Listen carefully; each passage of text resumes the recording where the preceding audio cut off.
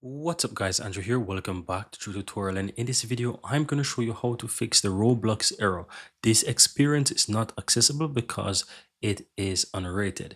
And this can happen for various reasons. And two of the most common reasons why this can happen guys is it could also it could be because you have a wrong age. If you have an age settings of 13 years or less then you could have this error message showing.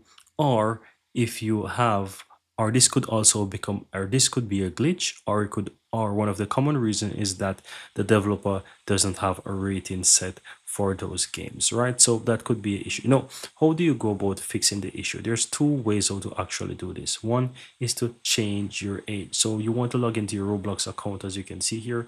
Click the settings gear on the upper right hand side go to settings and here under your account info you want to scroll down and you want to ensure that you basically change your age. So you will see that you have the option to edit the the age. So you want to click towards the right hand side where it says change birthday click on that and you're able to change your age or your birth date. In case you're not able to do this guys you want to do a few things. Go ahead and ensure that you add your phone number there and you also want to verify your account. So you want to enter your email address enter your phone number and ensure that your account is fully set.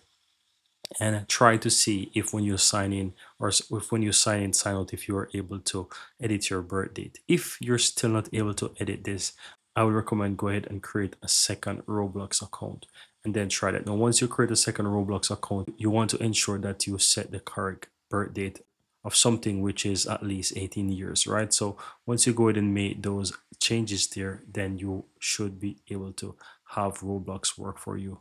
So guys i really hope that this you find this useful and you're able to edit this and and solve the problem. There are other instances where people mentioned that they didn't do anything they just wait a couple days or wait a couple hours and they see that the issue has been resolved. So go ahead and try these things guys and let me know if you're able to fix the issue. But i know for sure based on experience that the age situation if you have this set to less than 13 years it could be a problem where you're not able where you're experiencing this error message or if the rating of the game is not set by the developer that could also be it.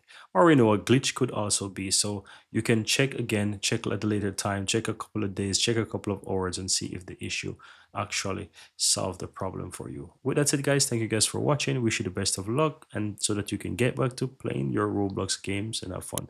Thank you guys and see you in the next one